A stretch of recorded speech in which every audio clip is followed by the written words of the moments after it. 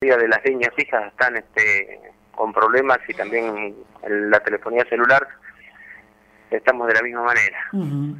Bueno, eh, comisario, preguntarle por, eh, por el tema electoral, lógicamente, porque va a ser eh, un fin de semana distinto, este no va a haber actividad, yo contaba las actividades nocturnas y demás, el día sábado las vamos a tener que dejar de lado, ¿no? Sí, efectivamente, la veda electoral comienza a regir a partir de las 24 horas del día sábado. O es lo mismo que decir a partir de las 00 horas del día domingo. Con una este, limitación total y absoluta de las actividades nocturnas y el expendio de bebidas alcohólicas. Vale aclarar que desde las 24 horas del día sábado, del día eh, eh, sábado, como te decía, hasta las 18 horas del día domingo, toda la actividad eh, propia de locales bailables, pubs, bares, clubes, restaurantes, queda suspendida. Bien, los únicos comercios que pueden tener abierto desde las 8 de la mañana hasta el mediodía del día domingo son los kioscos y maxi kioscos siempre y cuando no exista ni exhibición ni expendio de bebidas alcohólicas. Después de finalizada la actividad propia de estas elecciones, es decir, después que se cierran los comicios a las 18 horas, eh, la actividad comercial vuelve a normalizarse. Eh, esta, eh, esta veda, puntualmente, es para todas aquellas actividades comerciales y públicas. No quita que si alguna persona tiene un festejo familiar, eh, que no es un evento público ni tampoco comercial, una actividad privada, familiar, puede deshacerla sin ningún tipo de inconvenientes. Eh, Siempre. Comisario, usted se refiere a un cumpleaños, por ejemplo, un casamiento. Un cumpleaños, un casamiento, que es una actividad privada, un festejo familiar, Está. puede desarrollarse sin contratiempo siempre y cuando eh, los concurrentes no anden por la vía pública a ver, se entiende que es un, ámbito privado. Está bien. Bien, y solo acceden personas que han sido invitadas o familiares. Seguro. Ese tipo de reuniones no hay ningún inconveniente. Para lo que es la actividad comercial pública, la veda comienza a partir de las 24 horas del día sábado hasta las 18 horas del día domingo, que es cuando finaliza el escrutinio. Una pregunta que me hacen aquí. ¿Qué pasa si un ciudadano ve o escucha que hay una previa, hay una reunión de jóvenes, hay eh, algo, una juntada, por ejemplo, cerca de su casa? A ver, ¿puede haber reunión en, un domicilio particular? Sí.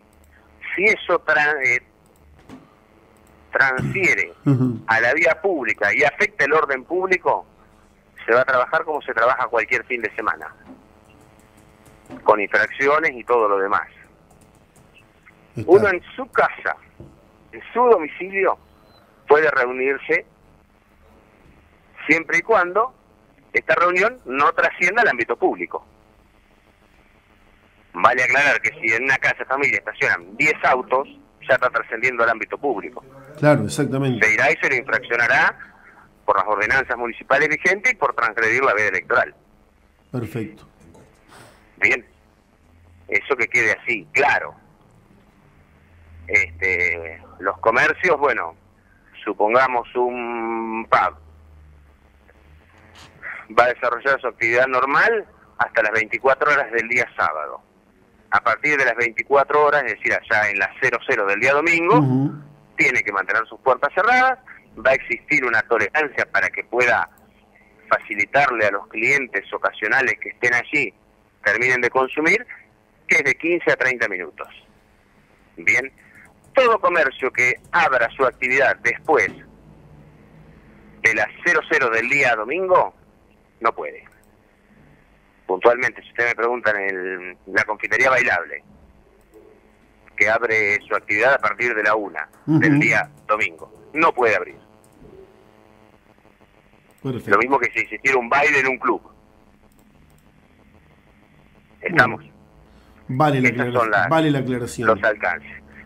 Y los comercios, te vuelvo a repetir, kioscos o maxi kioscos o una despensa de barrio, puede ejercer su actividad comercial desde las 8 de la mañana del día domingo hasta las 12 sin venta ni exhibición de bebidas alcohólicas.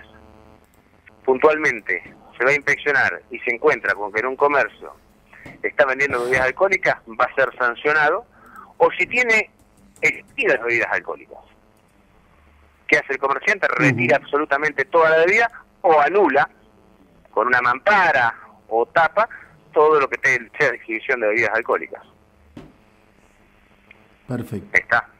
Eso está prohibido. Bueno. Es la venta o exhibición de bebidas alcohólicas. Vamos a trabajar de la misma manera que se trabajaron años anteriores, con los mismos criterios y con los mismos controles. A ver, esta es una ciudad que nunca hemos tenido inconvenientes, tampoco vamos a tenerlos ahora. Pero se va a trabajar de la misma manera que las elecciones que se dieron hace dos años o hace cuatro años atrás. Perfecto. Bueno, ahí está entonces. ¿Y mm, tuvo oportunidad de estar reunido con, el jefe, no sé quién, quién es el, eh, la persona que manda a, los integrantes del ejército?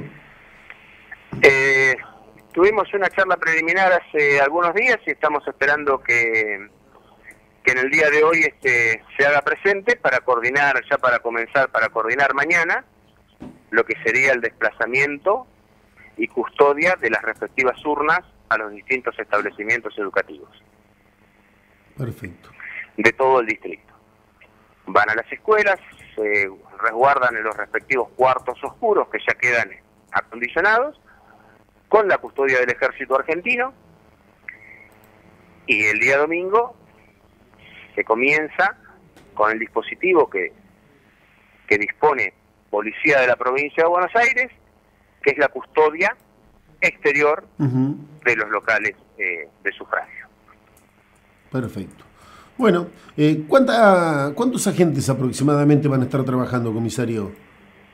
Absolutamente la totalidad del personal. Eh, porque se hace un recargo de servicio en distintos turnos, pero se afecta a la totalidad del, del personal.